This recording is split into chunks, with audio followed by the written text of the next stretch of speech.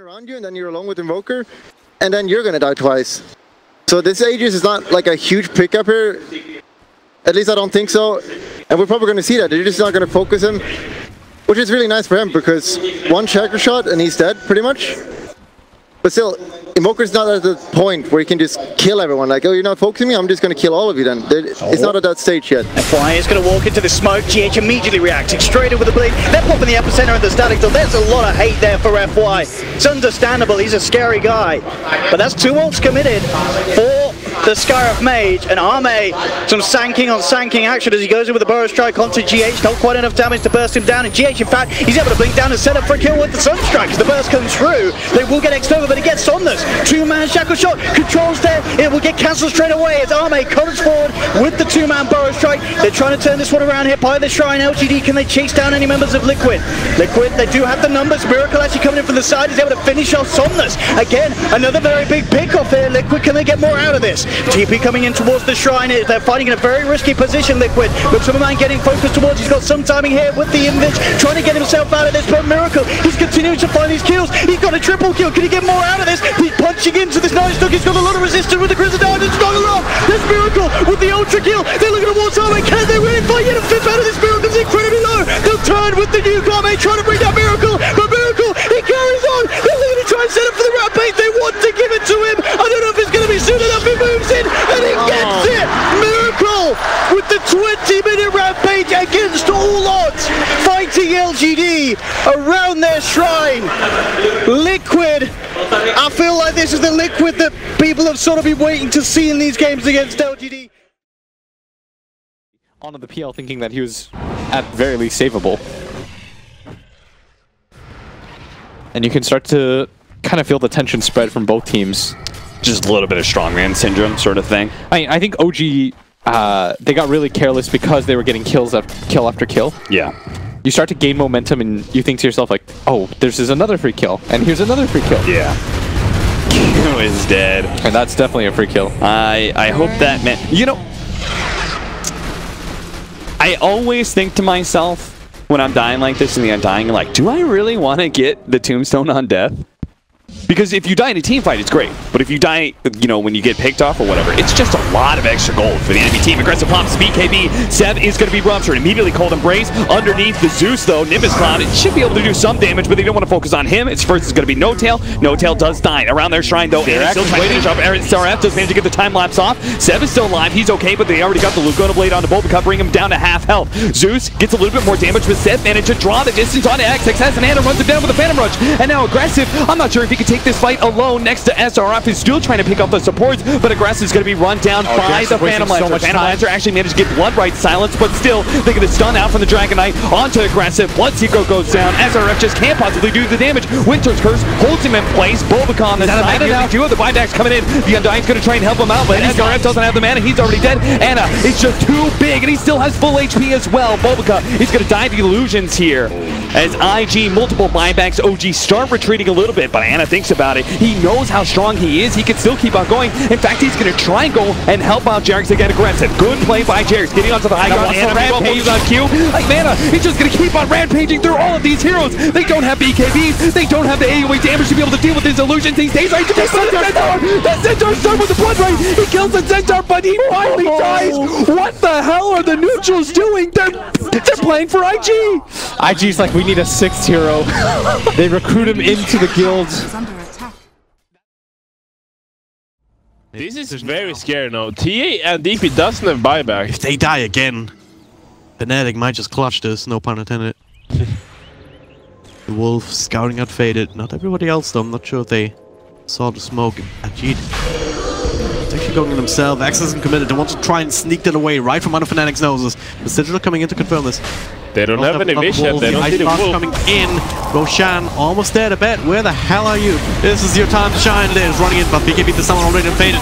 But Ajit, he's Ajit cannot die. He cannot die at all, but he very well might abandon the center. But the rock being dropped. Everyone's fatal upon it. Puck dies first. Ajit still standing with the BKB. Sounds like the way universe. Finally pops his ultimate, but This time it is Abed who gets the Aegis. Trigger up immediately though, and Envy has also fallen in the middle of this fight. RG, can they keep him alive though? He's actually he is down for good.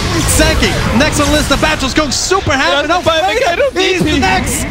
And he is down. Ultra kill for Storm Spirit. Dire's middle tower is under attack. Rampage. As he find another one. Uh, Dire's middle I mean, the lanes are awful, at least. Tower is what I meant to say, is being taken. Ah, you're absolutely right. They're going high ground. Catapult waves here, 20 minutes in. Usually when we think about the kind of peak of, com- of, of complexities draft and the Drow Ranger kind of thing is 20 minutes, they should be doing the thing, this thing here to the enemy team, not, not the other way around. But Terrorblade, with that and power on him, is doing, what, 400 damage a hit or something insane. He's going to get multicasted. And, oh, did that arrow go through? It did, through the mountain, but the RP lands. Hits onto two with a supernova on top. Ramsey's still alive. Finally loses the Aegis, but he's got a Sunder when he comes back up. Eternal Envy trap as an opponent hits Z Freak in the cleave. Onto the back, and the Ogre gets tapped, and the Battle Hunger will chase him back to Fountain. A triple kill for Solo. Some way, somehow, this man is a monster. Look for more. Get a fall. It's an ultra kill. Oh Give him the rampage. Go on. No, Solo. Kill him. Rampage for Solo. He gets it. Oh, they did it.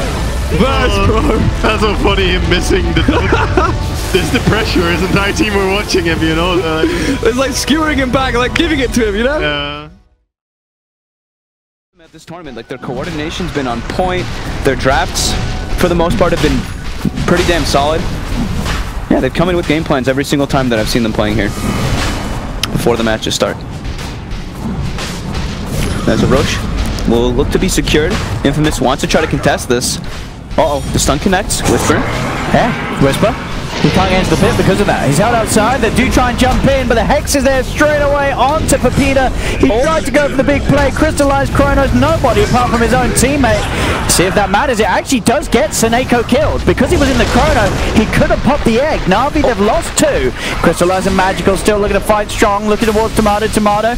Duking it out, turning around towards Crystallized. He gets Crystallized as well. Chew is trapped in the pit. Chew's gonna die too. Tomato? It's an ultra kill. They're gonna be able to kill this Magical as well. They've taken the Aegis. They're setting up to kill him again.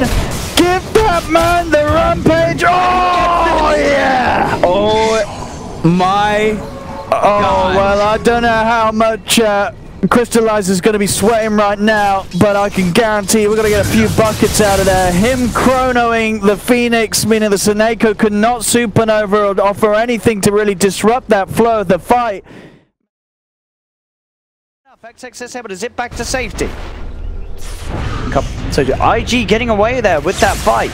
Very nice disengage. They got out with uh, by the skin of their teeth on several heroes, but Boca lives with like 100 HP, then XXS lives with like 100 HP, and Q as well. See, Ame is pretty happy right now, zooming in the mid lane at 700 XP. Oh, bottom low, aggressive. Bottom.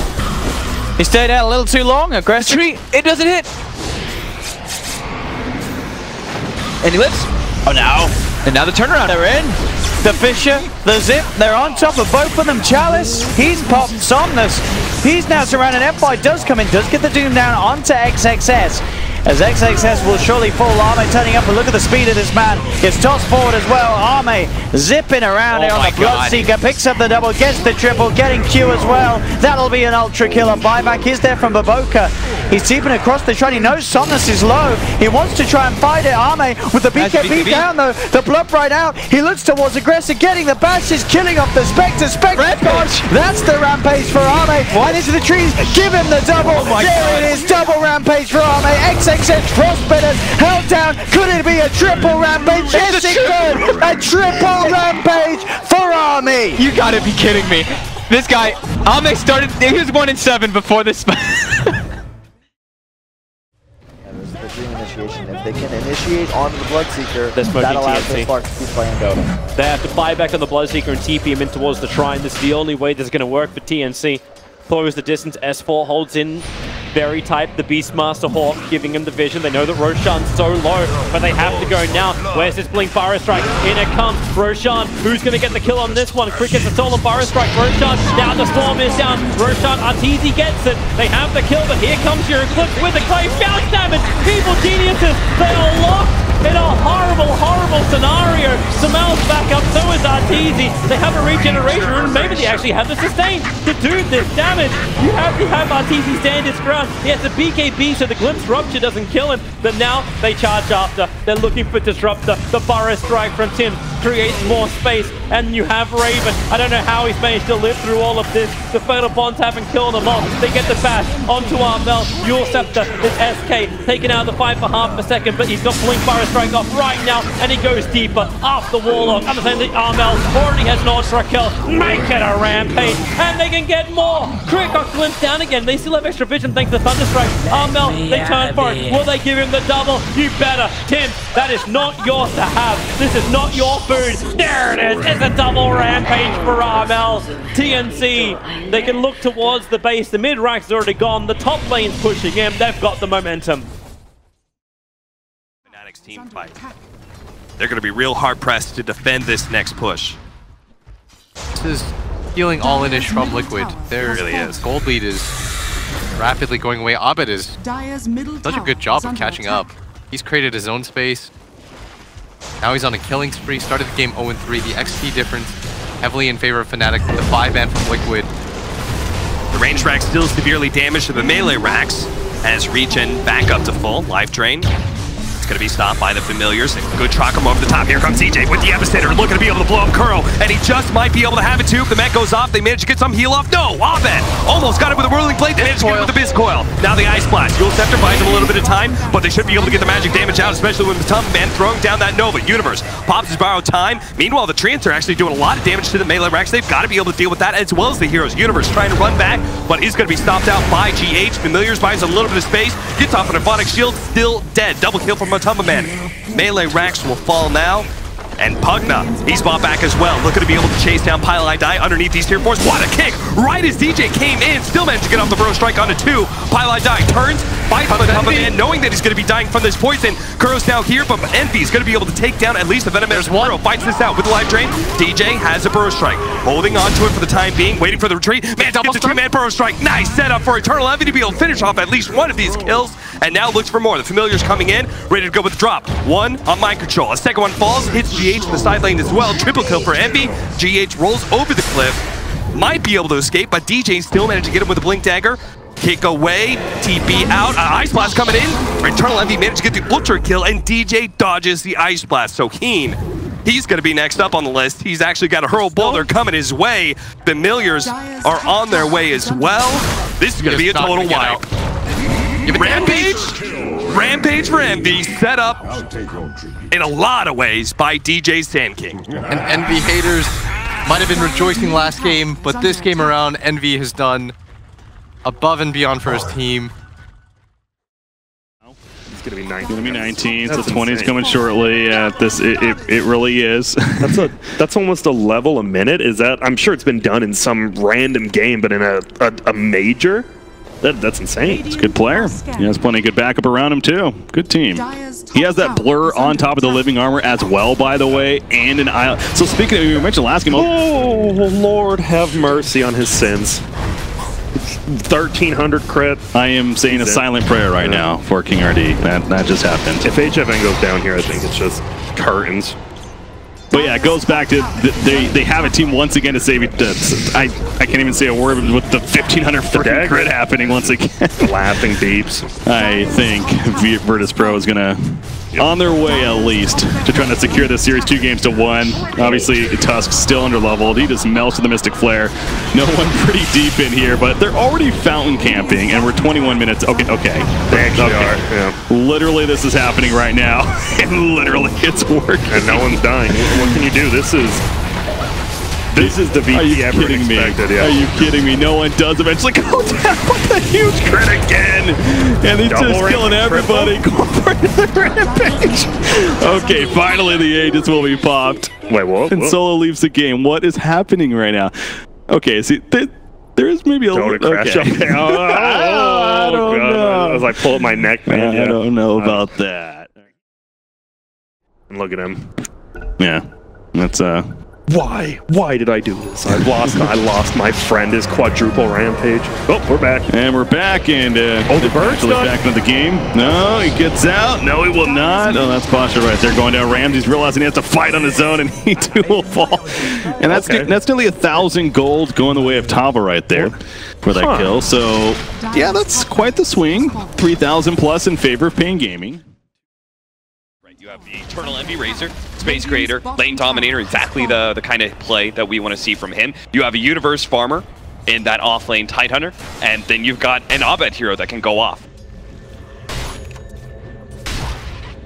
Blink Dagger finished on Envy as well. Liquid going to try for a play. They're smoked up. Got the track on Abed. That, as you say, would be a massive kill for them to find. That now wears off him. the coil. He's oh, not going to grab him. Abed, he's out to the side of it. Just turn. Oh, mind control. Oh. I know we've had a couple of players swap roles, and we saw we not had a couple of players swap PCs, and someone else is playing on mind controls. As now, Kuro just gets run down. Fnatic are just moving in for more. Matuma Man trying to hold back Abed. Envy's just up into the base, coming with the wraparound. The shard, they're going to trap up both GH and Matumaman. It's a triple kill for Abed. It's an ultra kill. Come on, give that man the rampage. They've got the slow. Abed's going in. There's the rampage for the Spider. As Abed hits the godlike streak. 29 to 8. 17k lead. I don't know who I did idea in the liquid camp it was to switch these rollers around, but um, I'm sure they're for now.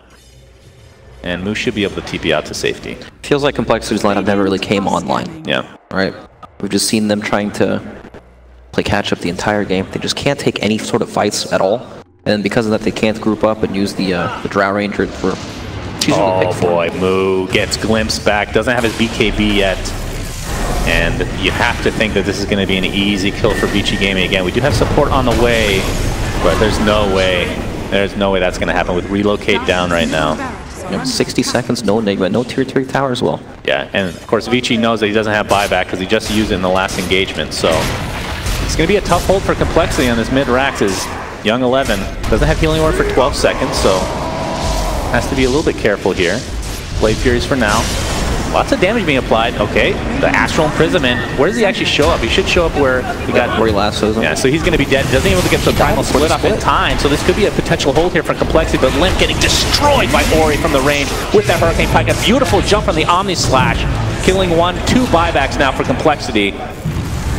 They'll probably get this melee rack at the very least, if not more. Z-Freak into the Static Storm. Down he goes, buyback as well. Just and this looks like all. the beginning of the end for Complexity in game one. Sandy's Eclipse to finish it off. That is a rampage for Ori. And they it might be two a double rampage instead of oh, my oh, god. Oh boy. That is one fat OD. GG well played come out. Complexity losing 23 minutes to each. I was not expecting that bad. I was No, expecting that this to be a pretty even series overall. Of course, it's only one game. Drafts mean so much Yes. in Captain's Draft. And it just, the Enigma, good in theory, just needed so many items this game. Wasn't able to get there. The drafts really show